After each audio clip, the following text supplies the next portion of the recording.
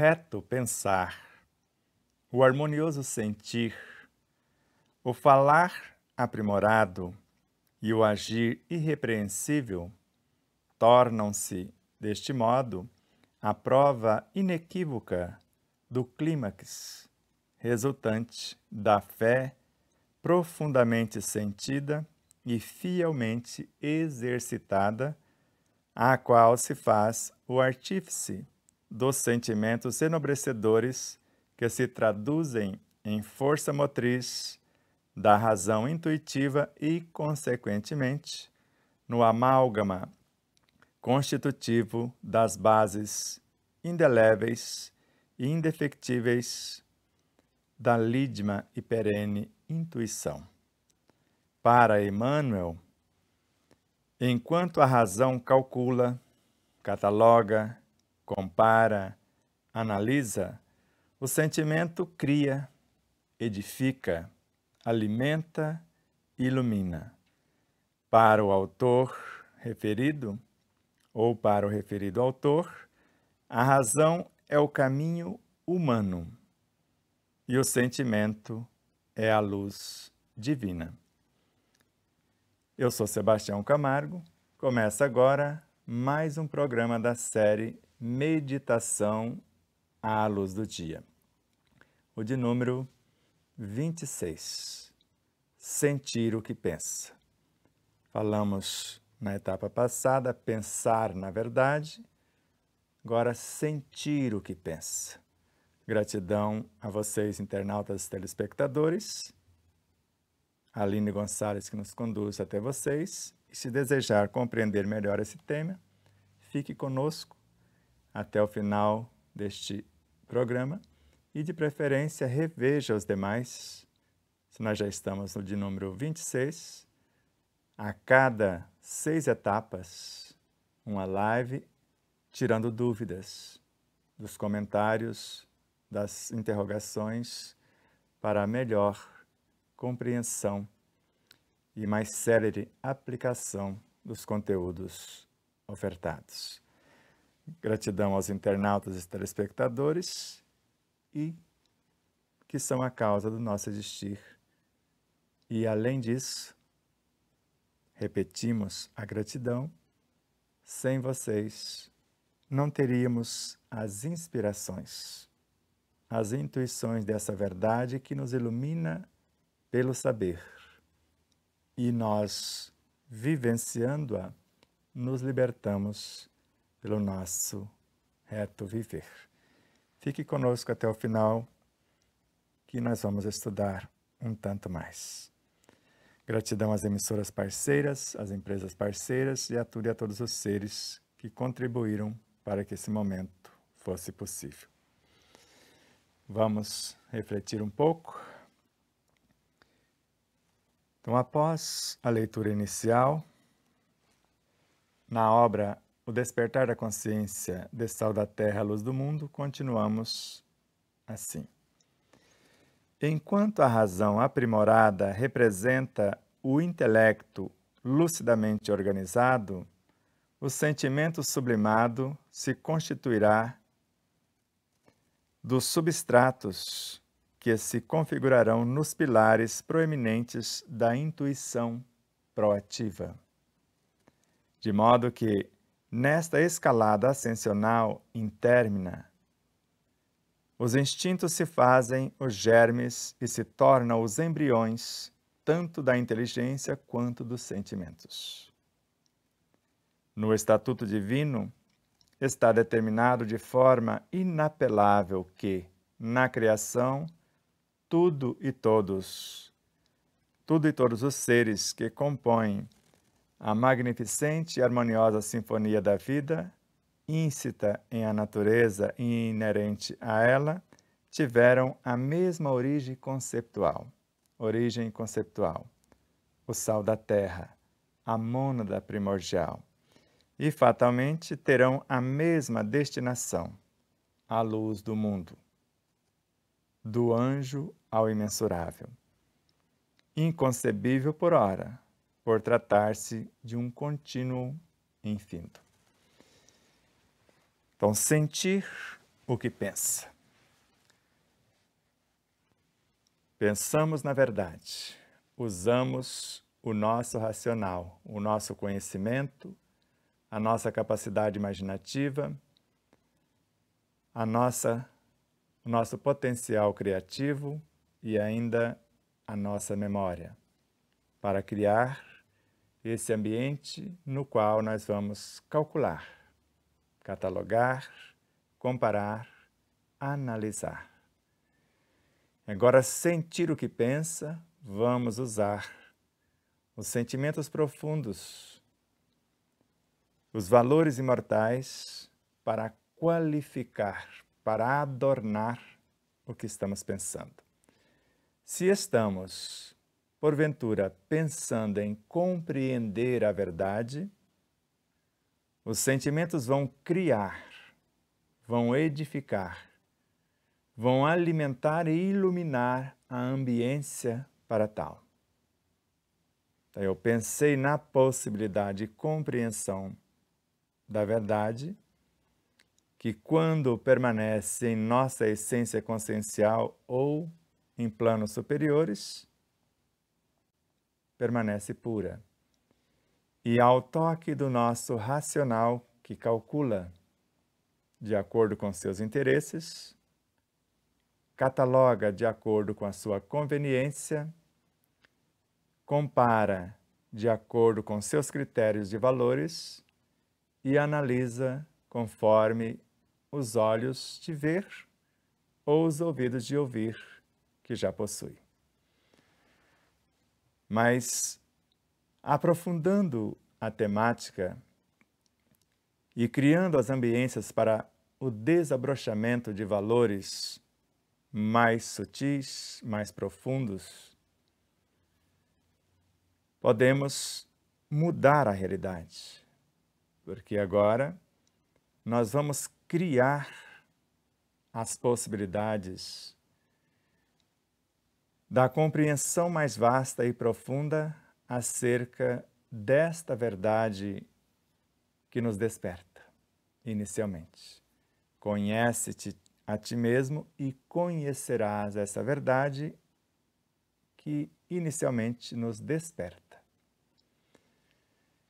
E criando essas possibilidades, vamos a cada passo edificando esta criação, dando bases sólidas para a sua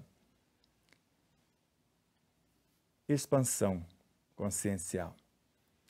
E a cada momento nesta criação, nesta edificação, nós vamos alimentando as possibilidades da expansão consciencial, do aprimoramento dos olhos de ver, dos ouvidos de ouvir, para vendo a obra, ver-se Deus.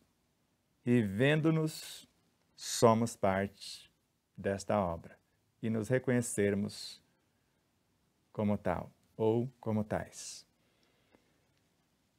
E saber que quanto mais enobrecedora ou quanto mais profundo mergulharmos na essência dessa verdade íncita em nossas consciências, mais nos iluminaremos com o saber, assim como mais nos libertaremos com nosso reto viver.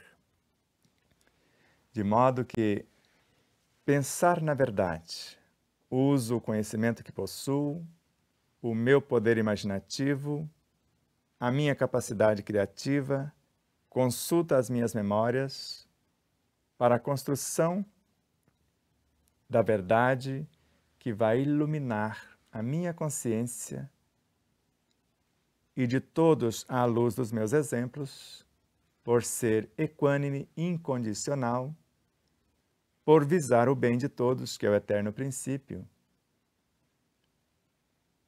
E poderíamos nos dizer, guardado as devidas proporções, assim como Paulo de Tarso um dia disse, ou disse-nos, Sigam-me vós, porque eu já sou igual a ele.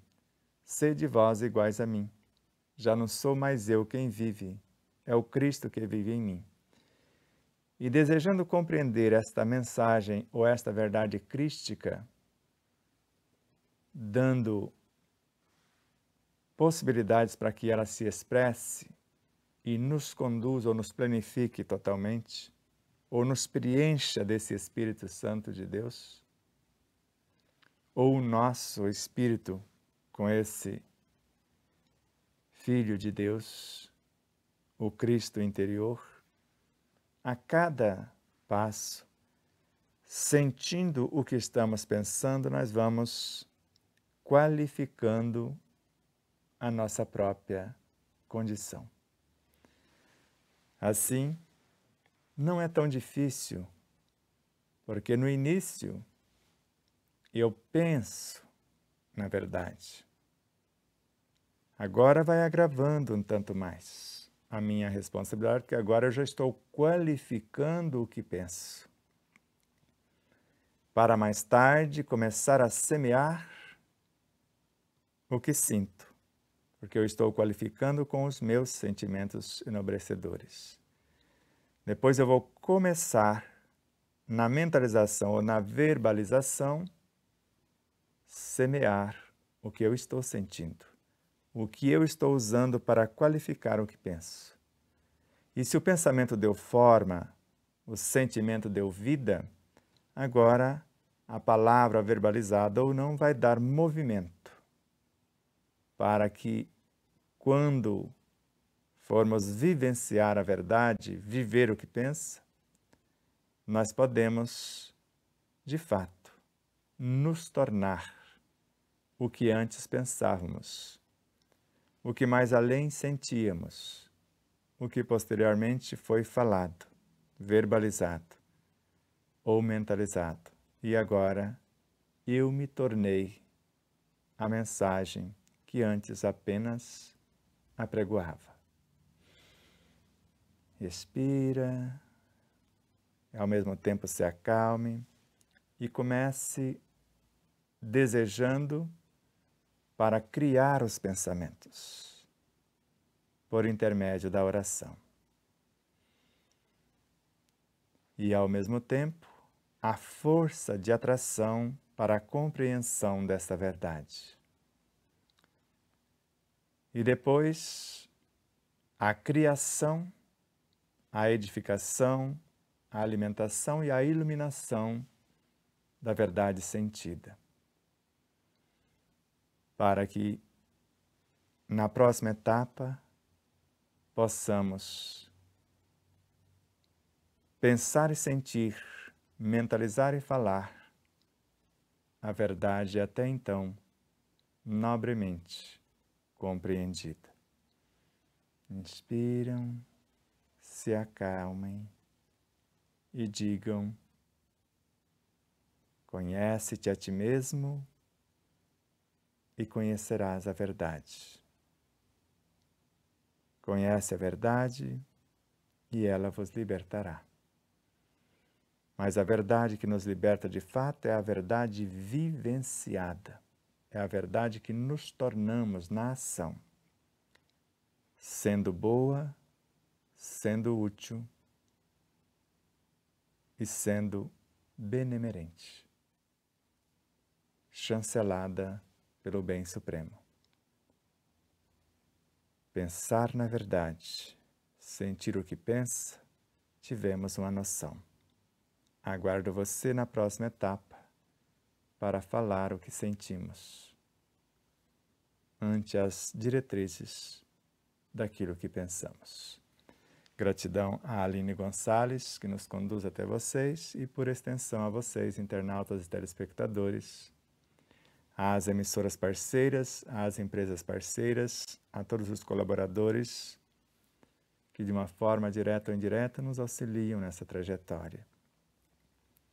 Que Deus os abençoe grandemente e multiplique imensamente as dádivas do tempo, da colaboração, da solidariedade e de tudo quanto nos ofertam para que possamos seguir motivados em conhecer-nos em profundidade, em maior profundidade a cada passo. E nos libertarmos pela compreensão dos ensinos, nos tornando a mensagem personificada, exemplificando na ação motivadora, geradora de estímulos, para que outros tantos possam se encorajar e seguir por sua vez. Paz profunda a todos, gratidão eterna. Namastê. Bueno.